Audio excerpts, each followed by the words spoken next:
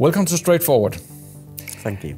We live in time of crisis. Uh, uh, we have a, we just passed the corona. Hopefully, we are we have rising energy prices. We have inflation, and the uh, SME environment in Europe are, are facing these crises as well. So, what would you suggest would be the biggest challenge for you right now? Well, uh, even the question itself uh, is massive since uh, well, colleague, colleagues and I as an entrepreneur, we've been going through, uh, through challenges to another and uh, maybe the biggest challenge currently is the uncertainty, the uh, world that uh, nobody knows where we are going and what will happen next. But isn't uncertainty uh, kind of a, a, thing to live with as an entrepreneur as such?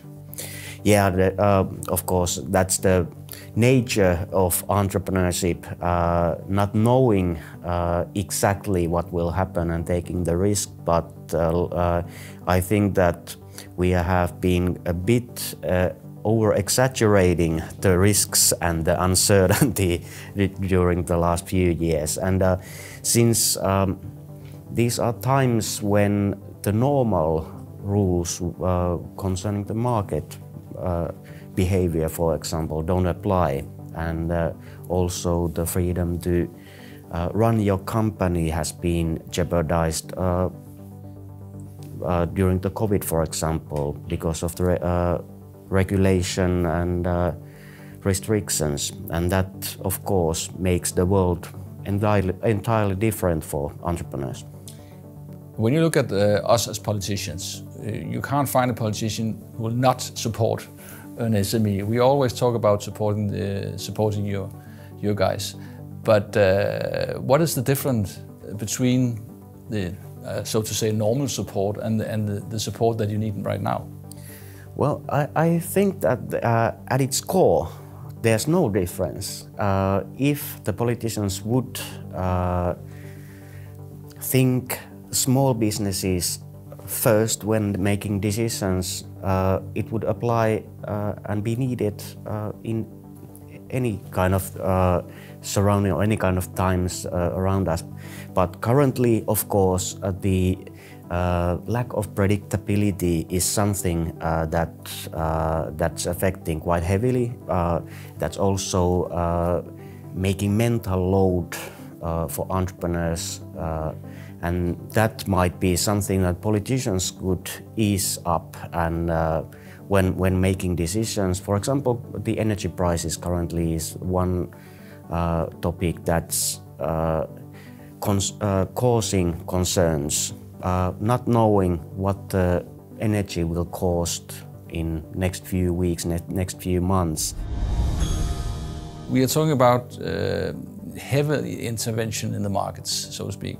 So that seems to me that you are very far from the idea of the market regulating themselves in, in this very particular moment.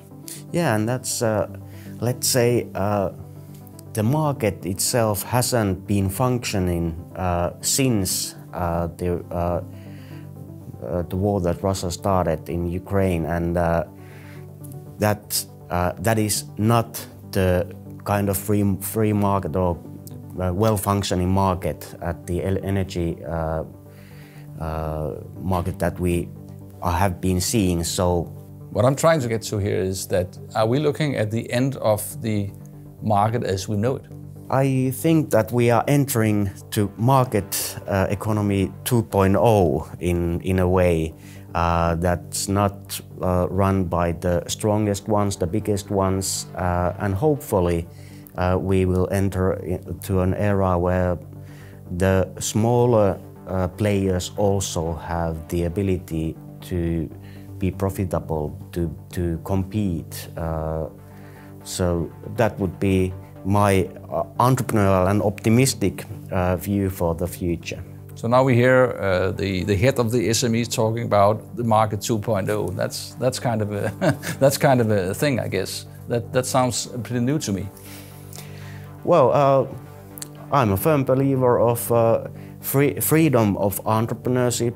Uh, I'm a firm believer of uh, free market, uh, but uh, we need to realize the uh, environment that we are currently living in and uh, there actually hasn't been such thing as complete uh, freedom before these crises that we have been experiencing for the, uh, during the last few years. Uh, and and therefore well uh, you as decision makers and politicians know that there has been always been uh, some sort of regulations or imbalance in, in market. Let's take a look at what's actually cooking right now when we're talking about initiatives uh, to support you, to help you. Uh, we're looking at the Commission uh, relief package uh, at, the, at, this moment. What would you suggest would be the main thing in this relief package? What do you see as the most important thing in this package? Well, the most important, uh, of course, is the idea to relieve the pain, but uh, actual uh, initiatives or, or actions we currently know for example, the late payment directive is uh, such that uh, would bene benefit uh, smaller companies. Since there is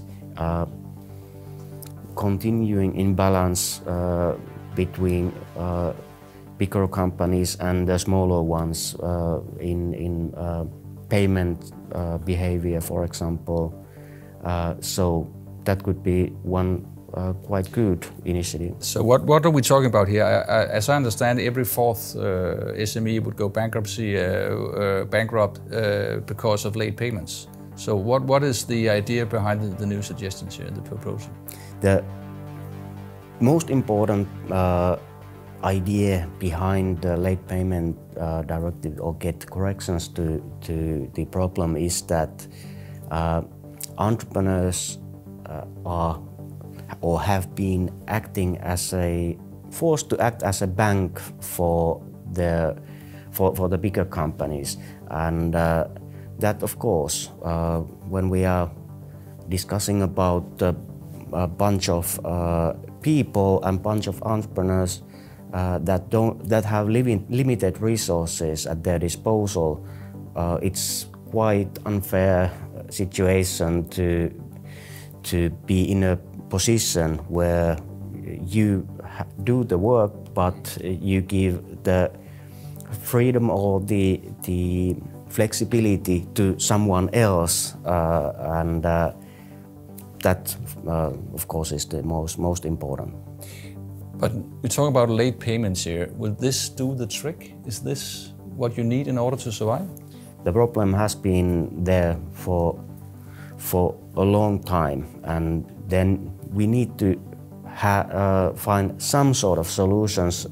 Um, of course, nobody knows for sure what will happen, but it uh, most definitely is a good step forward. And uh, if we can have a super, uh, supervisory uh, uh official for uh, to uh, follow and coordinate and to for entrepreneurs to contact when facing problems with payments, that that would be something that would enable this problem to hopefully disappear, but at least be a bit smaller than it, it is currently. I would like to come back to the idea of uh, of politician wanting to help to help you, um, and of course, since you are, I mean, 99% of, of companies in Europe are SMEs, so it, I guess it comes as no surprise that politicians want to help, but.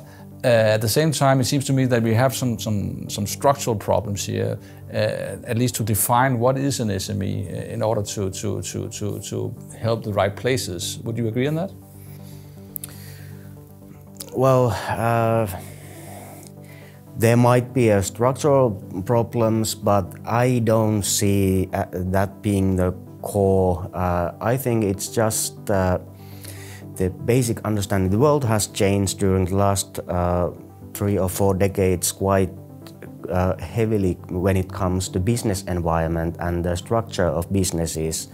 Uh, at the age of industrialization, uh, there were, uh, it was natural that uh, the most the companies that employed the most were big factories, and there were big resources behind them.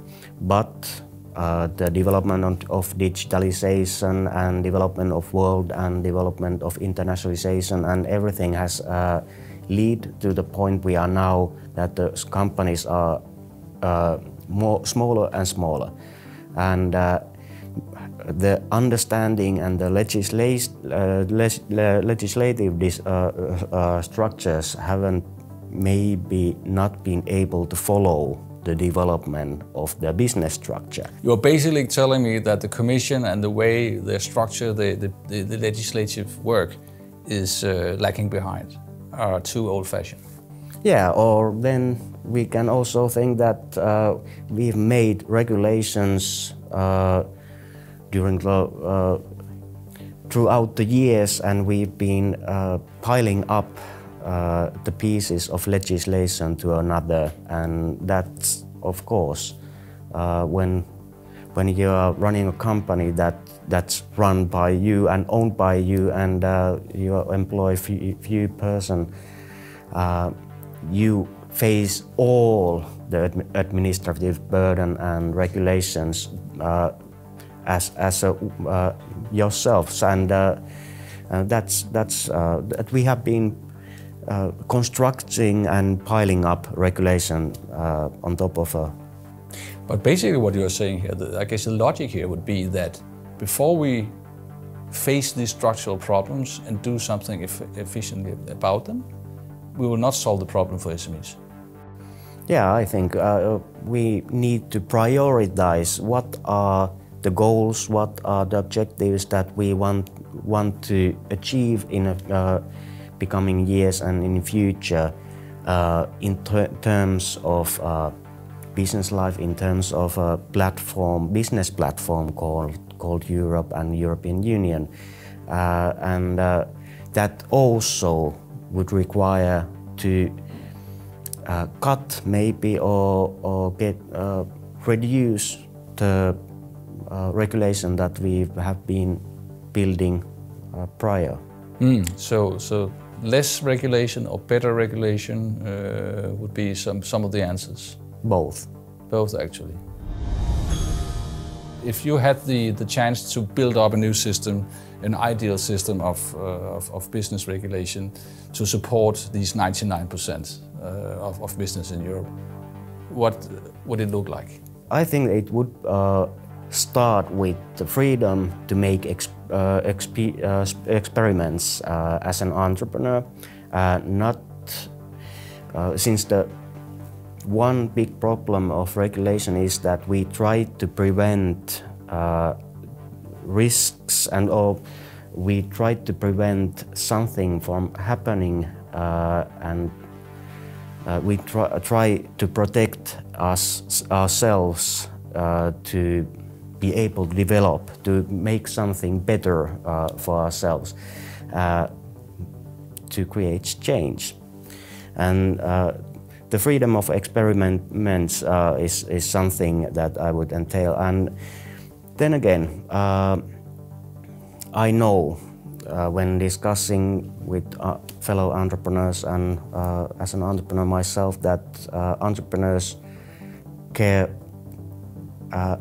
heavily and care much about their workers. Uh, uh, for example, working life uh, regulation is, uh, is, actually lagging uh, heavily behind the uh, the modern work life that we I'm seeing among entrepreneurs.